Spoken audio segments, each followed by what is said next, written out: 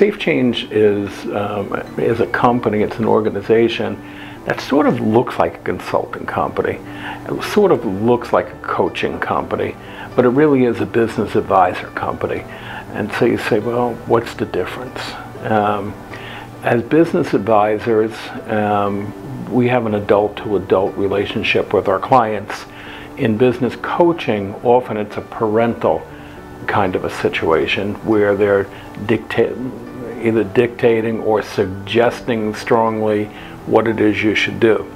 In business advising, we negotiate things out. I bring lots of experience. Um, I've been a CEO in a number of organizations from a rehab point of view.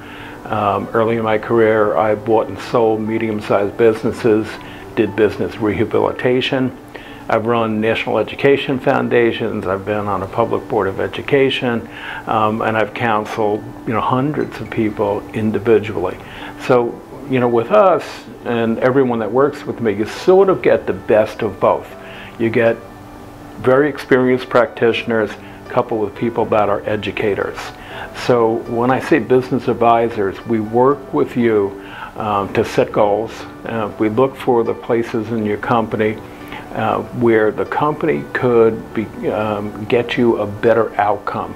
Uh, we identify those, then we work with an action plan after we've established where you are on the situation. We set goals um, and outcomes and we monitor you um, and help you stay on focus um, through an advisory. It looks a little like coaching, but it's not parental. And we help you to reach your goals. Then we establish new goals and we continue to build the business um, in that way. All of it's done um, with a unique kind of an approach. And that approach really is that we work with the people, um, well, the person that's the leader of the company. Um, a lot of times consulting companies and coaching situations um, want to um, coach the four or five um, leaders of the company.